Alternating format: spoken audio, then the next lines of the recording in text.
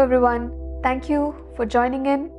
We're talking about the claims of Jesus, the I am claims, and today we will look at his claim to be the resurrection and the life.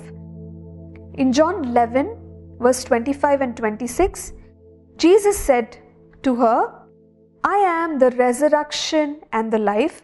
He who believes in me, though he may die, he shall live. And whoever lives and believes in me shall never die. Do you believe this?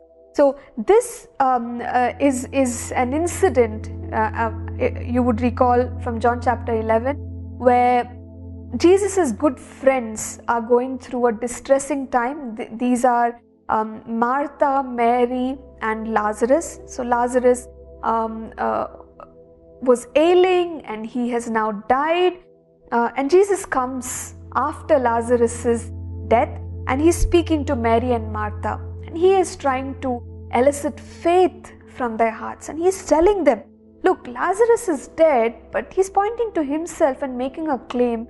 And he's saying, I am the resurrection and the life. It's a very strong claim um, for a human being to, to make. And he's saying, I am the resurrection and the life.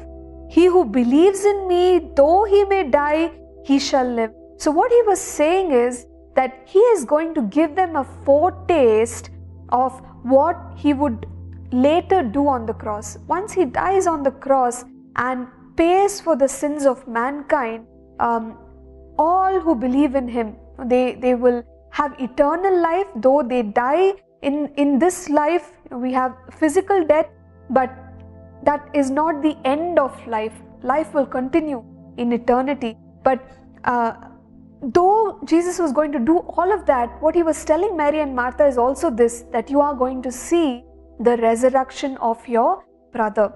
And was probably very hard for them to believe because they hadn't seen anything like that during their times. But we know what happened later. Jesus goes up to the tomb of Lazarus and says, Lazarus, come forth. Uh, and you know, Lazarus comes out alive, and um, people are amazed. And in fact, from this um, time on, a lot of a lot of people are also against him because they have seen the demonstration of a supernatural act and a great one at that. So Jesus is strongly, confidently, and directly claiming that he is the author of life in such a way that even death cannot take away that power from him. He is the resurrection, even if the, those who believe in him experience physical death.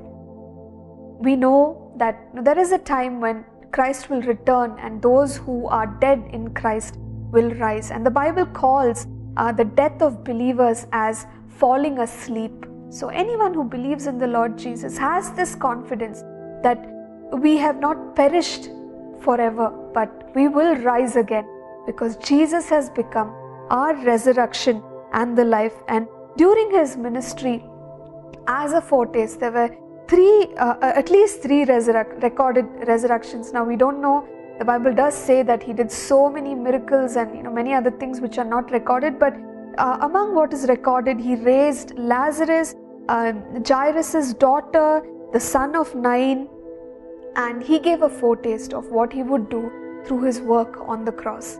Jesus is the resurrection and we have confidence in this life and even in the life to come.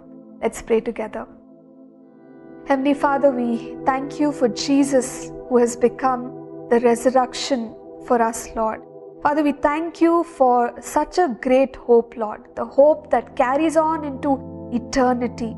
And uh, thank you, Lord. Thank you for the hope of resurrection from the dead as well. We give you praise. In Jesus' name we pray. Amen.